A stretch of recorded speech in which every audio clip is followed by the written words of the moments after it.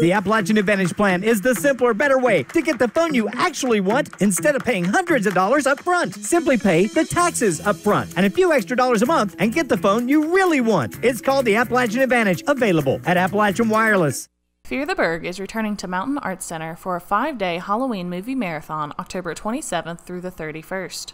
The movie marathon will feature family friendly movies, horror, and classic Halloween movies. It's just going to be a series of movie marathons going on, completely free to the public, made up of 12 of some of the best and most classic scary movies that we know and i'm so excited excited on thursday. Um, it's really a unique experience. So they're kicking off with um, nosferatu and uh, actually they're going to have mystery meat blues band is going to be accompanying as doing the the orchestra score along with it. So you'll have that movie experience but also live music to go along with it and fear the burg is completely free to attend and concessions will be available for purchase. Since the mountain arts center has been able to start playing movies they really wanted to look at how they could expand that experience to not just be single movies at a time but especially this holiday season when there's nothing better than a good movie marathon how they can really encapsulate that and so they came up with fear the burg and this year it works out awesome that they've been able to expand it into five days.